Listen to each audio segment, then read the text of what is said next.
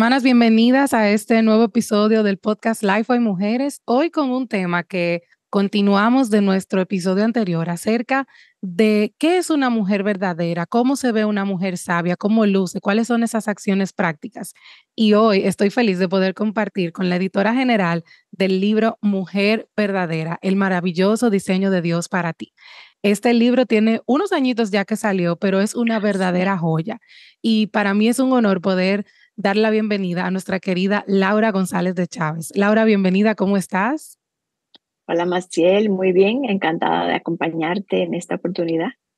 De verdad que es un placer para nosotros poder estar aquí compartiendo contigo acerca de este tema tan interesante y tan importante en nuestros días, ¿verdad? Así es. Yo creo que es más relevante que nunca. Verdaderamente es así. Y bueno, como conversábamos antes de iniciar a grabar, hay algunas preguntas que tengo para ti en el marco de todo lo que sucede en este mes de la mujer, marzo.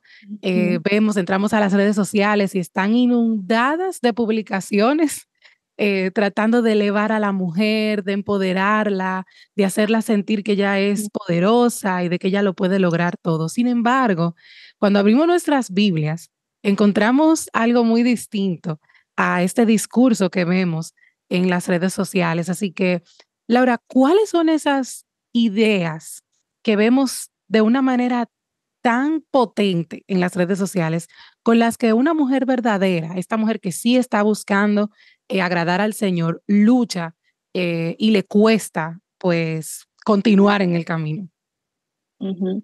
Bueno, eh, yo creo que obviamente sabemos que el feminismo es una filosofía tóxica, ¿verdad? Que va en contra de todo lo que la palabra dice. Eh, no solamente, Maciel, para la mujer, porque obviamente esto se trata de la mujer, pero del ser humano en general. El ser humano no debe buscar ni nada, eh, ningún deseo de empoderarse.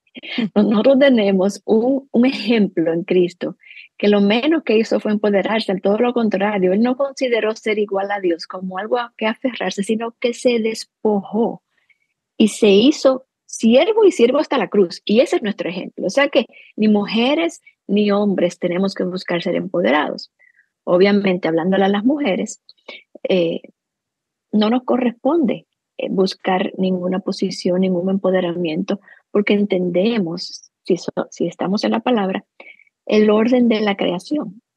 Entonces, obviamente eso no es un tema que hoy en día es muy popular, porque precisamente por eso, porque estamos en los tiempos de el empoderamiento, de que tú vos cuenta, de que tú eh, busca, tu, eh, busca tus ambiciones, sé tú misma, eh, tú dices lo que tú quieres y eso es, defiende tus derechos. Es un tema, no tiene que ver de nuevo con la mujer, es el tema que está en el corazón del hombre, pero en la mujer tiene esos, esos síntomas. Entonces, yo creo que es sumamente difícil para nosotras como mujeres.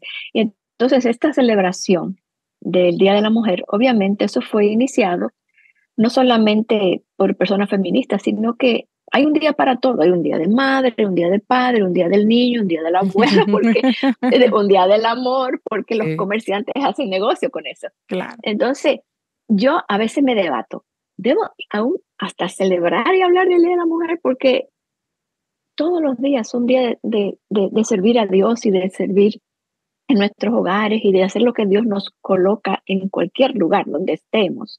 no tenemos que celebrarlo. Pero bueno, ya eso se está celebrando y hay otras personas hablando sobre lo que significa ser mujer. Para nosotros nos toca hablar de lo que realmente significa ser mujer de acuerdo a, a la palabra de Dios. Amén. definitivamente que es, es un tema muy relevante para estos tiempos y un mensaje, mejor dicho, muy relevante para estos tiempos y muy difícil de transmitir. Así es, totalmente de acuerdo. Y creo que con esto último dice en el clavo, es tan difícil poder, con tanta información que hay en las redes y en el Internet acerca de que es una mujer, donde casi nadie puede responder esa pregunta, eh, pues tenemos una avalancha de información tan grande que hace, lo hace prácticamente imposible el que nuestras voces se puedan escuchar por, por encima de tantos ruidos que hay en las redes sociales y en el Internet. Sin embargo, la Biblia nos instruye. La Biblia tiene, yo creo que mientras más voces escucho, me doy cuenta de que más hermoso es el diseño de Dios. La verdad que el corazón del hombre y el pecado eh, lo daña todo, ¿verdad? Lo, lo mancha todo. Pero cuando vamos a la Biblia, encontramos un diseño perfecto que encaja hasta cuando uno habla con una persona que estudió biología, por ejemplo, o un médico, te dice, es que el diseño de Dios es algo que es imposible no verlo, aún en nuestra composición interna, como hombres o como mujeres. Así, que cuéntanos un poquito, Laura, acerca de qué es lo que dice la Biblia que es una mujer. Bueno, obviamente Dios, a mí me encanta como la Biblia empieza, en el principio Dios. Si yo tengo eso claro, todo lo demás cae en su lugar, ¿verdad? Estoy Entonces, Dios, que creó el mundo, Él creó dos sexos, un hombre y una mujer. Y Él creó al hombre primero, a la mujer después. Y dice la palabra, no en el Antiguo Testamento, lo dice en el Nuevo Testamento, que la mujer fue creada para el hombre. Mm. Ese, solamente ese mensaje, Maciel, ya eso ya. es vinagre, porque ¿cómo va a ser que yo fui creada para un hombre? Pero definitivamente, y Dios, los dos son, tienen la misma imagen, la imagen de Dios, los dos igualmente valiosos, los dos amados y queridos por Dios, los dos hechos por Dios, pero cada uno con roles diferentes. Y eso es tan sencillo, yo no veo cuál es la dificultad de entender eso. Cuando estamos en una corporación trabajando, hay una persona que hace esto, una que hace aquello, y los dos son igualmente valiosos. Una persona que está en este departamento, otro en este departamento. Si, si ahora en un negocio tú tratas de que todo el mundo cambie de roles, se va abajo el negocio. Claro. Entonces, Dios creó estos dos sexos uno y el otro, y no solamente que los creó de manera distintiva en sus roles, pero aún como tú dices, su biología, la forma como son hechos sus cuerpos, hablan de para qué fueron hechos. Mm. Cuando tú ves una lavadora de platos, tú no, no se te ocurre usarla para lavar ropa. O, para, cocinar. o para cocinar como una estufa, porque ella fue creada por su creador para hacer una cosa específica. Entonces, la mujer tiene una, una, una manera de ser creada, tiene, tiene para tener hijos, para amamantar, para nutrir, para, es la que, la que carga el bebé por nueve meses, es la que lo, lo da luz, es la que pasa el dolor de parto, es la que, todo eso es parte, eso apunta hacia el llamado, hacia el rol. Entonces nosotros queremos borrar todo eso como si eso no existe y nosotros redefinirlo para que se ajuste a mis deseos. Pero eso es, eso es absurdo, eso es, eso es arrogancia del hombre. Así es. Lo, lo que Dios quisiera que hiciéramos es recibir el regalo. Esto fue, esto fue lo, así fue como Dios me hizo. Déjame devolvérselo a Dios en gratitud y en servicio a Él. Como Él quiere usarme. Ese debe ser nuestro deseo. Pero por supuesto, el pecado se mete en el medio y todo lo demás y, y ha ocultado la belleza de ese diseño a nosotros y nos ha hecho ver que hay otra cosa mejor para nosotros. Es la misma historia de Génesis. Cuando el enemigo se acercó a Eva y le dijo, ¿será verdad? ¿Será verdad que Dios dijo? Y él nos hace esa misma pregunta a nosotros hoy y en todas las generaciones. Pero hoy sobre todo, ¿será verdad que eso es lo que te toca? ¿Será verdad que tú no puedes salir allá afuera y hacer esto y hacer lo otro y, y ser la autoridad y, y, tú no necesitas un hombre, tú no tienes que casarte, tú no necesitas un marido, tú no necesitas nada. no necesitas tener hijos. También. Pero hace, hace un tiempo escuché, se hace el colmo del absurdo, una mujer que se casó con ella misma, Ajá. porque no necesitaba un hombre, se casó con ella misma y se divorció, porque obviamente no, no se aguantó, no se soportó. o sea que hasta dónde llega el absurdo de nuestra arrogancia, no tiene límite. Cuando nosotros nos separamos un poquito del plan de Dios, del diseño de Dios, ya todo va. Claro. Tú sabes que escuchándote pienso en tantas preguntas, no tenemos mucho tiempo, pero bueno, una de estas que me llega a la mente, Laura, es, ya que sabemos lo que es una mujer y tenemos más que claro lo que el mundo nos, nos, nos ofrece y nos quiere entrar por hoja, eh, boca y nariz, Em, ¿Cómo respondemos nosotras como mujeres verdaderas? O sea, como, como mujeres que realmente queremos agradar al Señor, eh, cumplir el propósito que Él nos tiene a cada una, ¿cómo se ve eso en la práctica? Porque cuando decías, por ejemplo, bueno, pero hay mujeres que no, que lo que quieren es hacer el mismo trabajo del hombre, hay mujeres que no quieren tener hijos, hay mujeres que y no pueden tener hijos, incluso entra esta disyuntiva de, bueno, pero por ejemplo, en mi casa yo no tengo la opción de poder dejar de trabajar porque mi marido no, no gana el dinero suficiente como para yo poder tener eh, ese privilegio y, vivir ese diseño de una manera gloriosa. No puedo. Eh, o una mujer que diga, me muero por tener hijos, pero no se pudo. Entonces, ¿qué pasa ahí? Sí, me encanta tu pregunta, Maciel, porque eso es lo que nosotros siempre buscamos para eh, derribar el argumento, ¿verdad? La realidad es que más que un llamado práctico de cómo eso luce en mi vida, es un una rendición de corazón. Mm. Una mujer eh, bíblica, una mujer verdadera, por llamarle como el libro, ¿verdad? Es una mujer que su autoridad es Dios. Su autoridad es la palabra de Dios. Su Señor es Jesucristo. Y por tanto, todo lo que esté escrito en este libro es su autoridad máxima. Y ella quiere vivir para agradar a Dios. Entonces, ella va a la palabra, ella busca los principios de la palabra que, que hablan claramente acerca de quién ella es, cuál es su identidad, cuál es su propósito, dónde está su seguridad, dónde está su valor. Todo eso ya lo encuentra aquí. Y entonces ahora con esa mente transformada, con ese corazón transformado, con esa palabra en el corazón, con esa mente de Cristo, ella vive. Y eso se va a ver muy diferente de una mujer a otra. Si, si, mi circunstancia es que yo soy una mujer soltera, yo voy a vivir esos principios como mujer soltera. Amén. Si mi circunstancia es que yo no puedo tener hijos, yo voy a vivir esos principios como una mujer que Dios no le ha dado hijos. Quizás se vea adopción, quizás se vea eh, sirviendo en la iglesia con los niños de la iglesia. Le doy valor a los niños, porque eso es un principio bíblico. Ahora se puede ver diferente porque Dios no me lo ha dado a mí. O quizás yo soy una mujer que necesito trabajar porque mi esposo no gana lo suficiente o lo que sea, la razón que sea. Yo no lo hago porque yo encuentro que eso es la identidad para mí. Yo lo hago porque mi esposo y yo, en oración y con los principios bíblicos, hemos establecido que eso es lo que yo tengo que hacer en este momento. Mm. Pero yo no, yo no suelto mi, mi, mi, prioridad, que es mi hogar y mis hijos. Eso está claro en mi corazón y en mi mente. Amén. Entonces, como tú te das cuenta, más que una vida práctica de cómo eso luce, es un, es un sentido correcto de quien yo soy delante de Dios y de lo que Dios me llama a hacer y a vivir. Y eso se va a ver diferente. Por eso la gente quiere que tú le des como un checklist. Bueno, la mujer verdadera se casa o no tiene hijos, y tiene 10 hijos y tiene 5 hijos y no puede trabajar. Nadie dice que tú no puedes trabajar. Lo que la, lo que la Biblia te dice es, ¿por qué tú quieres salir a trabajar?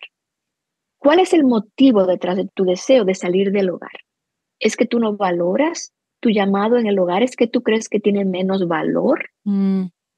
Y eso ya te habla de que no he entendido bien lo que es la ética de trabajo, porque el todo trabajo es valioso para Dios. Así Aún el, más inútil, el más menial, no sé en español, el más, el más insignificante ante los insignificante es valioso para Dios. Al contrario, ¿qué hizo Cristo? lavar pies, Él vino a servir. O sea que si Dios nos pone a servir en las partes, en las cosas más insignificantes de mi hogar, yo tengo un trabajo muy, yo estoy igual que Cristo. Yo estoy, yo, yo estoy como mi, mi Señor. O sea que eso debe ser algo, cuando yo tengo eso claro en mi mente y en mi corazón, yo puedo vivir de esa manera. El problema es cuando nosotros queremos vivir de ciertas maneras y cotejar cosas sin tener la transformación de mente y corazón. Amén. Entonces, por eso es que siempre cuando me hablan de este tema, ¿no? ¿Qué, ¿Qué pasa con la mujer que tal cosa? ¿Y qué pasa con la mujer que tal otra? Como que queremos encasillar a la mujer en esto, sin darnos cuenta que no es eso exactamente, es que esa mujer tiene claro su llamado, su rol, su valor, su identidad, el rol que le toca en la creación, sus prioridades, y que dentro de todo ese marco ella entonces actúa de acuerdo a las circunstancias reales de su vida. Buenísimo, buenísimo. No sé si me doy a entender. Claro, perfecto. Y me encanta porque definitivamente en nuestro caminar, eh, a pesar de la diferencia de edades, como mujeres, podemos decir ambas que hemos vivido eso, de que hasta que no llegó un momento en el que Dios transformó nuestra mente y eso bajó a nuestro corazón, la vida era muy distinta a la que tenemos hoy en día. Y yo creo que mientras va pasando el tiempo, perdón, también nos damos cuenta que Dios sigue cambiando ideas en nuestra mente para que eso luzca como luce. Claro. Y déjame agregar algo, Maciel. Yo creo que Dios en su palabra nos da una idea de cómo debe ser una mujer de Dios y un hombre de Dios, no solamente una mujer. O sea, cuando el Evangelio llega a nuestra vida, lo transforma todo. Todo. Debe transformar la forma como yo veo la vida, como yo percibo las cosas, como yo percibo el sufrimiento, como yo percibo las relaciones, como yo me percibo como mujer, como yo me percibo, un hombre se percibe como hombre. Todo, todo lo debe cambiar, ¿verdad? Entonces, mi, eh, eh, la, la, Biblia nos presenta cómo eso debe lucir. Es como, es como que nos presenta un cuadro. Mira, si esto es lo que agrada a Dios, ninguno de nosotros estamos ahí. Nadie está ahí. Nadie ha llegado a, ese estándar. Estamos en un proceso. Pero nuestro anhelo debe ser creer que eso es bueno, que eso es, que eso es digno de ser perseguido, mm. porque esa es la sabiduría de Dios para nosotros. No es la mía. Entonces, ¿qué yo hago? Por ejemplo, este libro. O el Proverbio 31, cuando tú le dices a la gente, a la mujer el Proverbio 31, ay, pero esa mujer, ¿quién puede ser una mujer Proverbio 31? Entonces mejor no lo escribimos Proverbio 31 porque nadie puede. No, eso está ahí porque imagínate un cuadro que se dañó con el tiempo, un cuadro dañado que ya tú no entiendes bien la imagen del cuadro, ya tiene muchos años, está olvidado en un, en, un, en un ático, y ahora viene un pintor y lo quiere restaurar. Y le limpia, le, le, da, le hace el color por allí, la otra cosa por allá. No lo deja como está, lo va a restaurar. Eso es lo que Dios está haciendo con nosotros. Él está restaurando lo dañado en nosotras. Entonces nosotras, con la ayuda del Espíritu Santo, en la palabra de Dios, entendiendo verdaderamente quién yo soy en Cristo y qué Él ha hecho por mí, y cómo me ha capacitado para vivir para Él, es un proceso de santificación, donde toda mi vida es renovada, incluyendo mi rol. Entonces, uno lo enseña y ya tú sabes, mira, ese es, ¿quién es nuestro estándar? Es Cristo nuestro estándar. Nadie ha llegado ahí, nadie ha llegado ahí. Entonces, pero no, no decimos, ay, no, por eso no, se, no enseñes eso, porque eso es imposible que tú llegues al estándar. No, no la palabra nos llama a, perseguir eso, a, imitar a Cristo, ¿verdad? Entonces, eso es parte, parte de todo eso es como nosotras como mujeres rescatamos ese diseño original en nosotras. Y eso va a lucir diferente, como de nuevo te repito, eh, en las diferentes etapas, en los diferentes contextos, en los diferentes ambientes en que yo esté, circunstancias y todo lo demás, pero yo tengo mi, mi, mi meta, yo tengo mi estándar y tengo mis prioridades y, y persigo, Señor, yo quisiera ser esa mujer. Yo no me resisto, digo, no, yo, eso no es ya, porque ya eso pasó de moda. No, porque esa, esa persona no conoce la palabra. La palabra es relevante en todo tiempo. La palabra, la sabiduría de Dios no, no, no, no pierde valor ni pasa de moda. Así es. Pero para eso tengo que estar convencida yo, ¿verdad? En haber entendido esto en mi corazón y mi mente y eso no es algo que yo aprendo porque alguien me lo dice yo lo cotejo en una lista. Eso es algo que sale de adentro hacia afuera. Amén. Entonces, sí, eso es lo que quería agregar. Excelente, me encantó esa ilustración. Me encantan las ilustraciones porque nos ayudan a poder entender de una mejor manera eh, lo que estamos escuchando.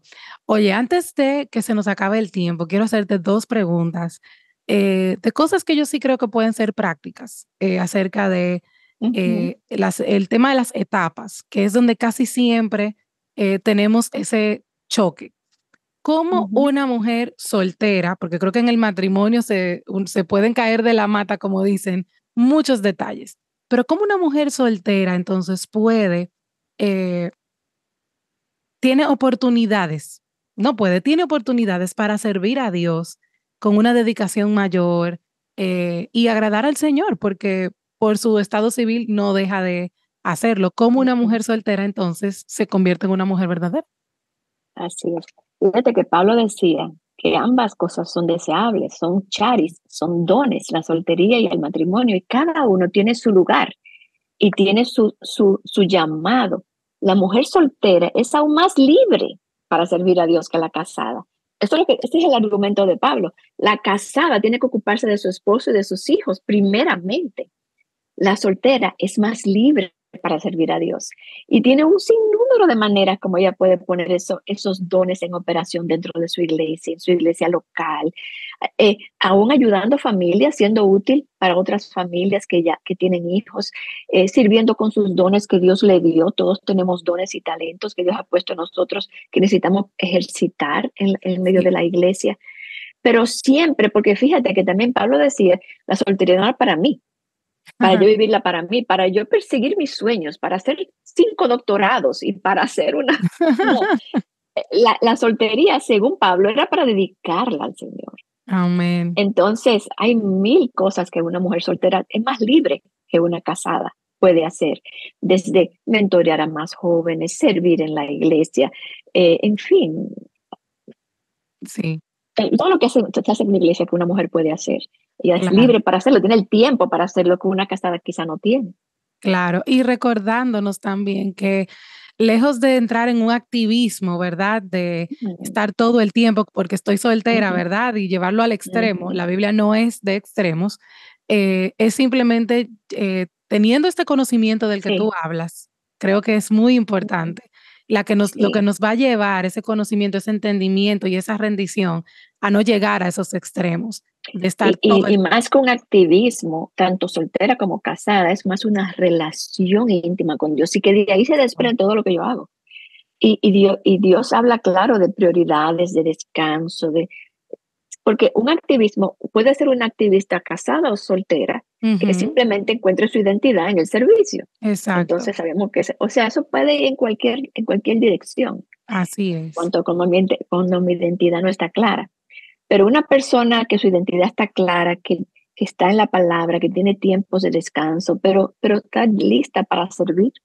Amén. es un llamado para todas las etapas. Amén.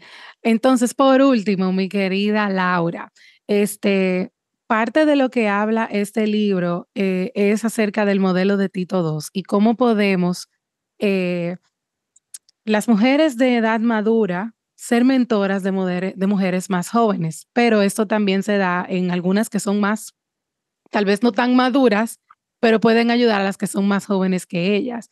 ¿De qué manera tú ves esto eh, siendo eh, vivido, tanto para la que tal vez tiene 20, que puede ayudar a un adolescente, o la que está en sus 30, que puede ayudar a una adulta joven, ¿verdad? etcétera, etcétera. Y cómo esto, porque lo he vivido, cómo esto ayuda y edifica la iglesia. ¿Dónde empezamos? Es que eso tiene una base teológica tan grande, porque no solamente es ayudar a jóvenes y ser mentora de jóvenes, eso, eso está incluido ahí.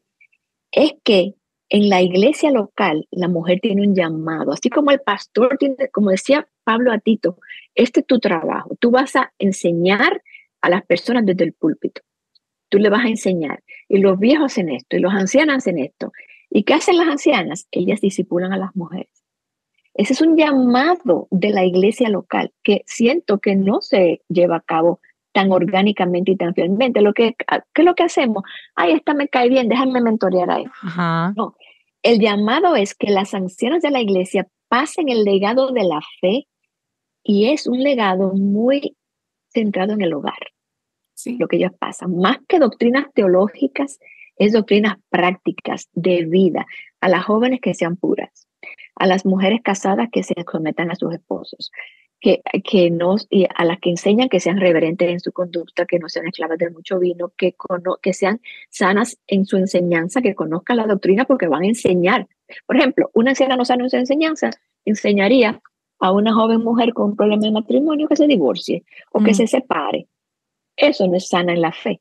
Esta mujer tiene que conocer lo que la palabra de Dios dice para poder aconsejar correctamente a las mujeres jóvenes, enseñarles a ser hacedoras de hogar, porque no podemos desligar el llamado de todos del currículo de todos. Claro. Y, y, todo eso te enseña bien cuál es el área de dominio de la mujer, que es el hogar. Entonces, mi sueño siempre ha sido que en las iglesias se viva verdaderamente y orgánicamente Tito II, donde las mujeres estén hablando con las jóvenes, enseñándoles de que son bien jovencitas, mira, esto es lo valioso, esto es, esto es lo importante que tú aprendas, esto es, esto es lo, que, lo que Dios tiene para ti, este es tu diseño, este, para esto tú fuiste creada. Y entonces enseñarle todas estas cosas yo, y por supuesto, mentorarlas en el camino, todas sus preguntas que tienen en esta época tan confusa de la juventud, donde puedan tener una anciana que puedan ir a, ¿cómo hago esto? Esta relación que tengo, ¿qué tú piensas de esta relación? Soy muy joven, ¿qué tal este muchacho? ¿Qué tal esta carrera? ¿Qué tal este problema con mi... En fin, sabiduría bíblica de ancianas a jóvenes. Eso es lo que es Tito 2. Amén. Amén. Y, y así es como la iglesia se fortalece. No es el papel del pastor solamente enseñar a la congregación. Las mujeres tienen ese rol. Las mujeres lamentablemente lo que quieren tener un rol en una plataforma y eso Dios lo usa, pero la plataforma más importante es tu vida y tu ejemplo, tu ejemplo. Entonces, en otra manera, como todo se ve, cuando, porque fíjate que dice que las ah, mujeres mayores que sean reverentes en su conducta. Mm. La joven tiene que ver eso, ese ejemplo, nada más de boca. Es que ya vean este ejemplo, esta vida, estos frutos, y ahora yo puedo donde esta mujer a decirle, necesito que tú camines conmigo. Y eso se debe dar orgánicamente en la iglesia. Ese es el llamado de Tito II.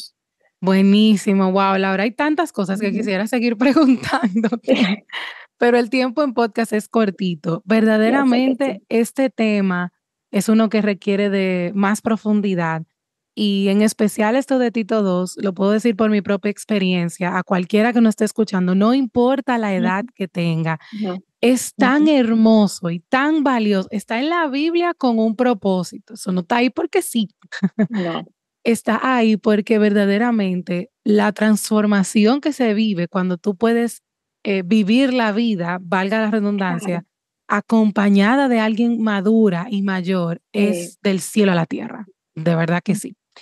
Así que yo les animo a que si usted no tiene a alguien que pueda buscarlo dentro de su iglesia local, porque yo creo que es una de las mejores formas en la que se puede vivir la vida cristiana. Laura, gracias, de corazón por tu tiempo y tu sabiduría, compartirla con nosotras, de verdad que Gracias a ti, gracias a ti, Mil, por la invitación. Qué linda. Y bueno, a ustedes les recuerdo que está disponible Mujer Verdadera. Este recurso lo pueden encontrar en su librería favorita y también en todas las plataformas digitales disponibles. Así que eso es todo por este capítulo y por esta temporada. Cerramos con broche de oro esta temporada y venimos ya luego para... Em, compartirles, estamos muy contentos, estas novedades que salen a partir de abril. Así que muy atentos porque el podcast se sigue poniendo bueno. Hay muchas nuevas entrevistas que vienen con nuevos recursos. Así que manténganse atentos y en nuestras redes sociales también seguiremos compartiendo mucho contenido de edificación para ti. Gracias por escucharnos y nos vemos en la próxima temporada de Life de Mujeres.